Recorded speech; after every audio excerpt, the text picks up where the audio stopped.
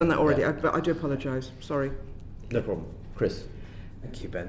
Um, morning, uh, gentlemen. Um, f- first of all, um, Mark, you said that you thought self-driving vehicles would be safer. Um, what evidence have you got to support that uh, statement? So I think we've seen um, some innovations where we're getting more assisted driving systems that are um, reducing collisions. So one example is automated emergency braking, where there's some quite good data. Uh, so, so this is a system where actually, rather than you reacting and braking, it, it, it spots something in the road ahead, and the and the brakes happen automatically. So there's some quite good data emerging and showing that that um, is reducing the chances of collisions, and that's primarily because the system is able to react quicker than than a human can react. And so um, I think as technologies like that develop and as uh, collision avoidance systems become more sophisticated, mm. that that will in general. The overall, but the, over, the overall safety suite of systems and so on is not really adequately advanced for you to be able to conclude at the moment that those vehicles will be safer than manually driven vehicles, though. So I, I think there's, there's, that's quite a complex issue to actually unpick. So I think at the moment we have a very complex collective of vehicles yeah. on our roads, and that potentially will just get more and more complex as more um, developed systems come into play. So, what I would point to and what our concerns would be would be in particular around consumer education of what their vehicle system can actually do. I understand the concern. Sorry, just wanted to keep it yeah. short and sharp sure. on, the, on the safety point about the evidence of, of your to back up your statement and say they would be safer. That at the moment, uh, it feels to me we might not have all the e evidence That's right. available to support that statement. So I just wanted to um, clear that up. Um, I just wanted to move on a little bit to regulatory frameworks, if I may. Um, ben, I'll start with you, and then Mark, I'll come to you uh, secondly. Um, how does the government propose that the regulatory um, environment should change?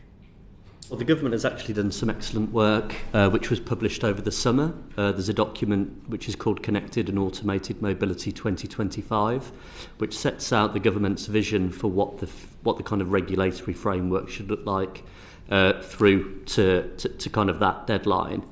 um, it essentially recommends um, or endorses a number of the Law Commission's recommendations from its three-year review. It includes the introduction of new legal actors, the ASD, the NUIC, the UIC, um, new regulators for approval, in use and accident investigation, uh, data disclosure, Um, so there's some really good work that's been undertaken, and there is a solid blueprint out in circulation. Um, I think that the key question is how can we bring that to life, and how can we bring that to life quickly? Yeah. Um, that is the, the the kind of key question from my perspective. And how will it change the legal role of manufacturers and software developers? Do you think? Um, well, it will probably create additional liability for them. Um, at the moment, kind of circa 95% of road accidents are caused by human error. So if we take the human out of the equation and there's still accidents, that's probably going to land on the, the car manufacturer or the software developer that's putting the self-driving system onto the market. And then, you, in your opinion, this is probably more of a question for Mark, but I'd, I'd be interested in your opinion. Um, given that sort of rebalancing or reprofiling of risk away from the driver, do you think that's likely to have a positive effect on insurance costs for the driver? Um, the, the answer is potentially. Uh, I agree it's more a question for Mark. I think one point is that with these vehicles having lots of sensors and expensive bits of equipment in them, if they're involved in an accident, the cost of repair is probably going to be a lot more because they're a much higher value uh, piece of equipment. So, w- will it have an impact on premiums and bring them down? Possibly, uh, particularly over the long term, but in the short term, I think, yeah, I'd have to hand over to Mark on that. Mark, what do you think about that? Is, is car insurance going to be cheaper for people if they have self-driving vehicles? Because the risk profile, as we've just articulated, may go much more towards software developers and the manufacturers. So it, it depends is the answer. I think what we need to realize is that with many of these new technologies are actually dependent still on human behavior and human understanding of what the vehicle's capabilities are. And I think a real concern for us is that there is a potential misunderstanding. So Thatcham, who we work very closely with recently, did some research that showed that over 50% of of consumers think that there are fully autonomous vehicles out there that they can buy. Um, so when you hear terminology like autopilot or driver assist or, or the various different terminologies that are out there, to me that suggests that many consumers would think they can take their eyes off the road, they can take their hands off the steering wheel, they don't need to go back and charge at a moment's notice. But there's a big difference between the technology that we have that really will require user in charge systems with no user in charge systems of the do you future. Think, do you think the term self-driving vehicle is maybe the wrong one?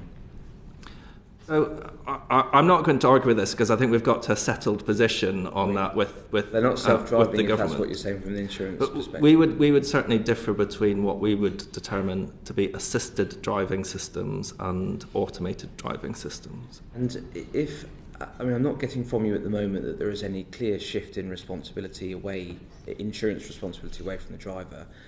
Um, is, is there not a risk that actually there is a, an increase in risk to the driver in this case if they don't have full control of the vehicle because of its automated uh, automated capabilities?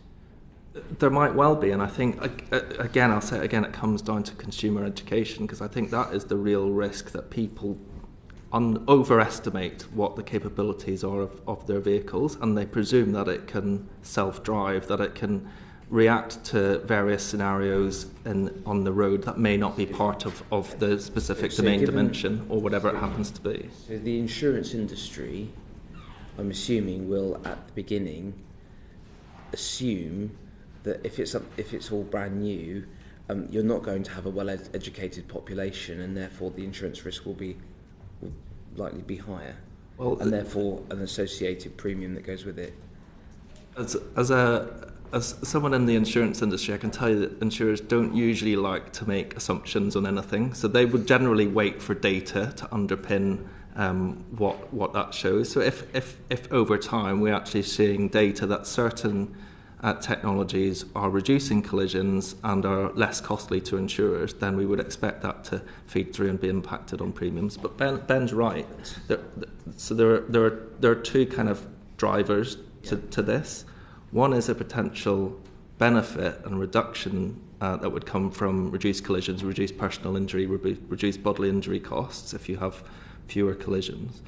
But generally, these are going to be more expensive vehicles to repair. So that is the, the kind of push up on, on costs that will that will often come with this. Thank you. Ashley, do you have anything you'd like?